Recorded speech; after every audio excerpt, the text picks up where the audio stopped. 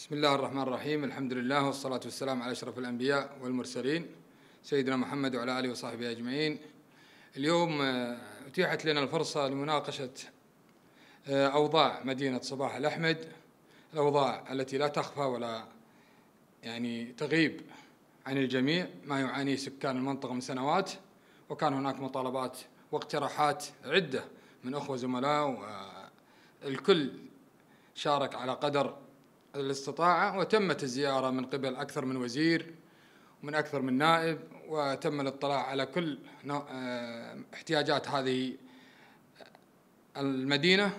ولكن للأسف لحد الآن المدينة تعاني من بعض آه، الاحتياجات الضرورية لسكان المدينة. واليوم تحدثنا وكان هناك أكثر من مطالبات من سواء من وزارة الداخلية بافتتاح المخافر. هناك تقريبا خمس مخافر وللأسف يوجد نقطة أمنية واحدة. لا يمكن أن هذه النقطة أن تغطي آه، المنطقة كاملة. لا يخفى على الجميع عدد الوحدات السكنية والمساحة الجغرافية للمدينة. لذلك يجب الاستعجال في تشغيل جميع المخافر وكذلك آه، تأثيث المستشفى المصغر وتلبية احتياجات وزارة التربية كافة. وتشغيل مركز الرعاية الأسرية في الضاحية آه، أيضا وزارة الإشغال عليها العمل أن يتم وفق يعني للأسف يعني الآن طريق 306 الكل يشاهد الفترة الصباحية. فقط لذلك يجب أن يكون هناك مناوبات.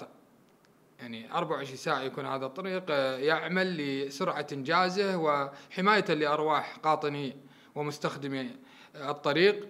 آه، أيضا هناك يجب أن تكون هناك خطة عمل لتشجير الطرق الداخلية في المدينة مع المؤسسات الرعاية السكنية وزارة لتوفير حتى يجب على وزارة الأشغال توفير المياه المعالجة.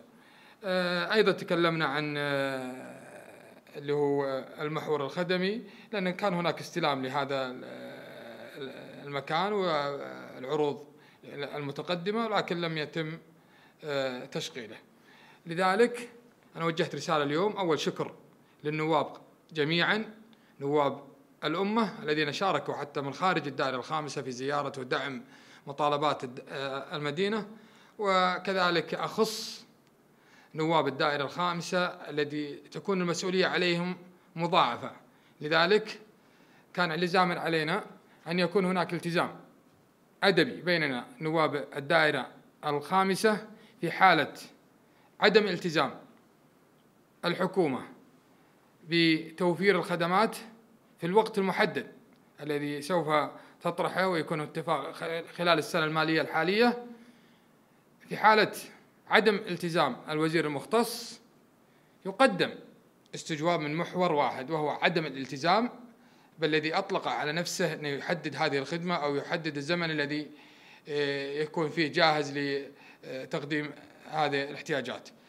أو إذا كان يرى أن هناك تقصير من أكثر من وزير العدد ما يخفى عليكم. عشر نواب كتاب عدم التعاون مع رئيس الحكومة الذي هو مسؤول عن أداء وزرائه كل على حدة.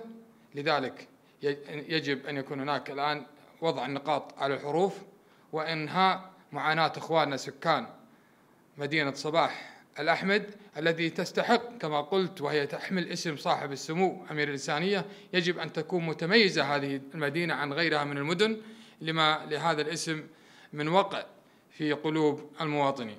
لذلك إن شاء الله أنا متفائل بأن يكون هناك التزام من إخواني نواب الدائرة الخامسة في تحقيق مطالب. إخوانهم سكان مدينة صباح الأحمد وإرغام وإلزام الوزراء والحكومة بتوفير كل ما تحتاجه هذه المدينة. وجزاكم الله خير.